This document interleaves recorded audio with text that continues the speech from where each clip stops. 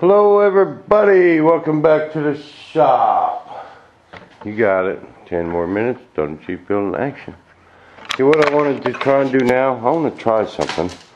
Got all these molds waxed up. I'm getting ready to start Partalling and stuff, but uh, I think I want to try something real quick. I want to incorporate this gun port into my mold. Okay?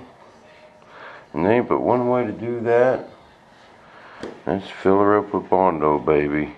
It looks like, it looks pretty simple. It looks like it's just got a little taper on it there, and then more of a taper on it, and we'll taper them sides just a frickle, so the mold comes off of it easy, and then I'll double face tape it back in my mold.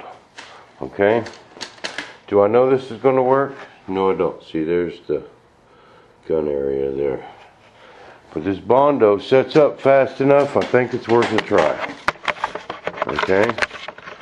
Now this could either have it done in minutes, or just forget it and truck on. Alright. This is just regular old Bondo.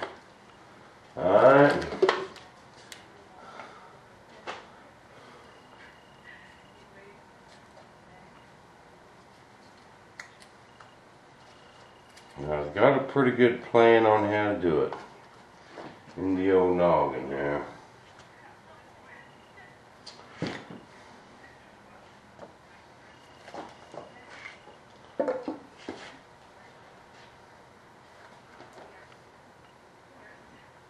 Yeah, I hate that runny stuff that comes out.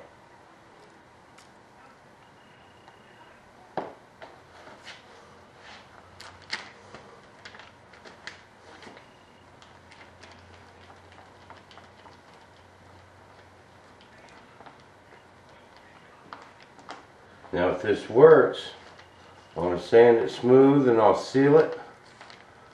Uh, probably with some thin CA.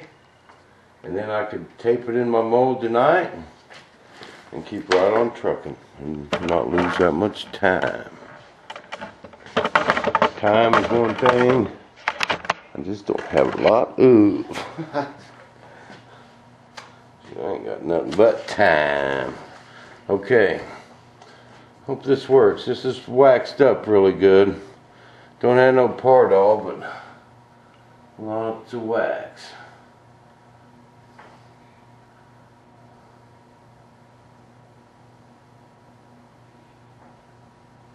I don't want no bubbles. So I gotta kind of be careful how I put it in.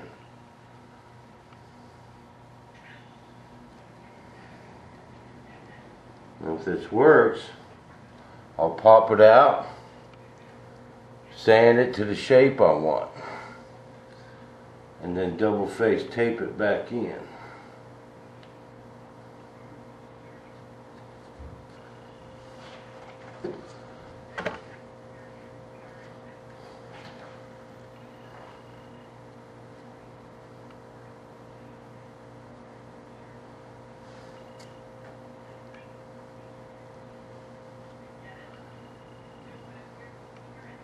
No air bubbles, so I gotta kind of work it in.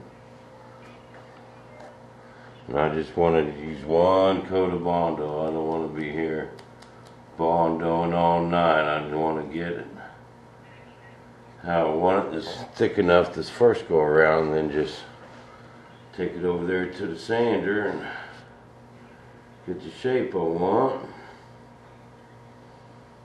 seal it up real good because you just cannot mold on the top of Bondo.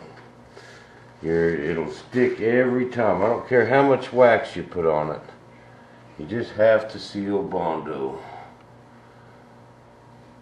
We could uh, put a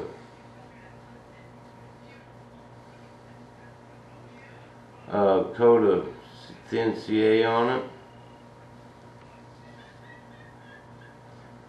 And then uh, coat of primer and it's good to go.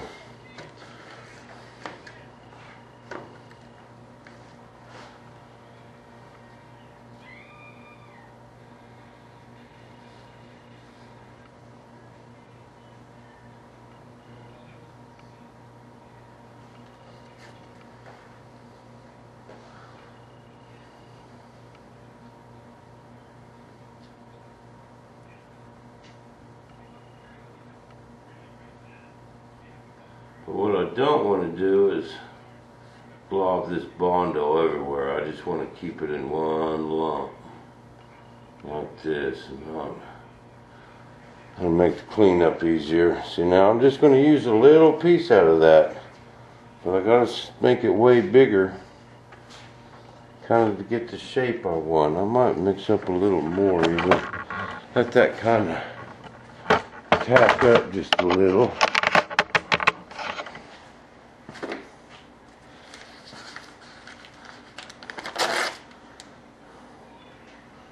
Come over here and mix me up some more.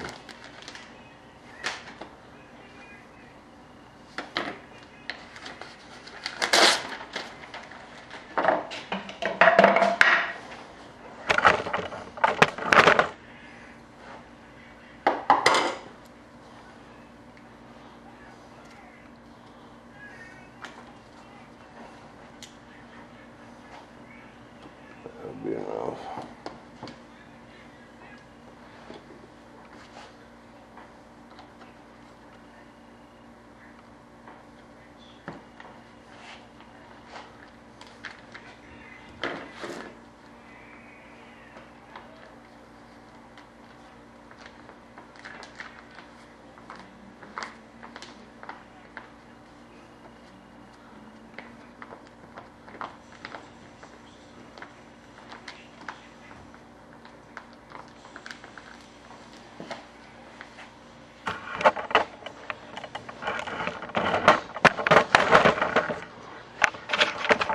Hmm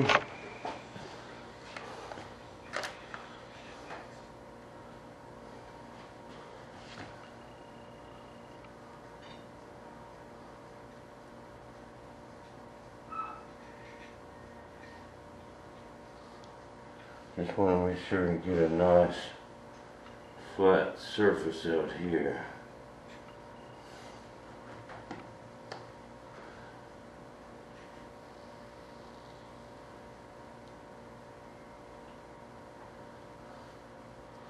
I think that's gonna work right there.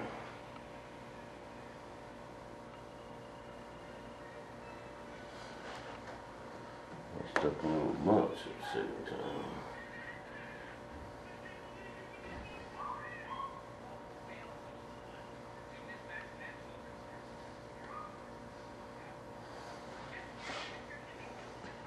Okay, we're gonna let that set up. I'm gonna pop it out of there. See if I can got something I can work with. What do y'all think? Think that'll work?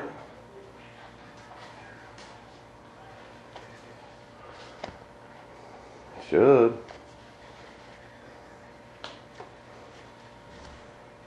That sure would make a nice little gun port right there. You Know what I mean?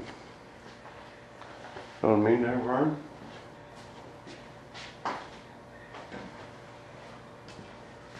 Know what I mean there, Vern? But I got, look what all I got waxed up. I got another set of Bobo blasters.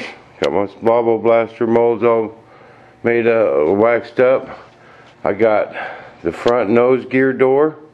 I got the chute door. I got another vertical stab. I got another elevator somewhere. Oh, it's right there. And I'm going to get all them primed up tonight. And uh, get them laid up this week. I probably ain't going to lay up another fuse till Monday. I'll wait for my buddy's day off.